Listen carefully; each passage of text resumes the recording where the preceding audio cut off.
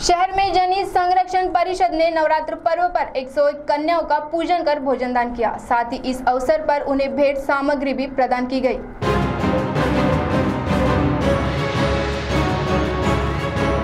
शनिवार को अष्टमी के अवसर पर आदिशक्ति माँ दुर्गा के आठवें स्वरूप महागौरी की आराधना की गई। वहीं अष्टमी के पावन अवसर पर चंद्रपुर के विधायक किशोर जुर्गेवार के निवास स्थान पर जनहित संरक्षण परिषद की ओर से 101 कुंवारी कन्याओं का तिलक कर सामूहिक पूजन किया गया। इस दौरान कन्याओं को भोजन कराते हुए लाल चुनरी और उपहार दिए गए।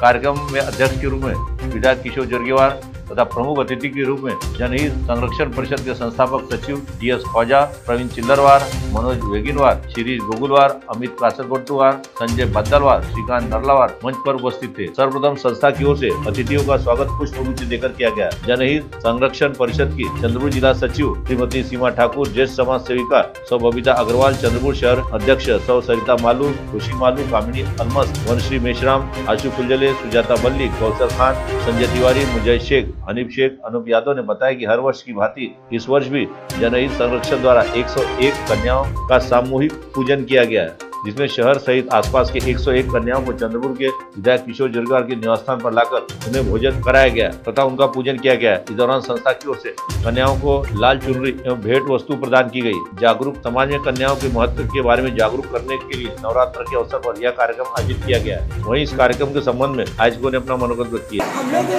नवमी के दिन एक सौ आठ कन्या भोजन करते हैं। ये हम लोग पिछले तीन चार साल से बना रहे हैं। इस साल हमको किशोर जोरगीवार भाव ने बहुत मदद की, हॉल दिया।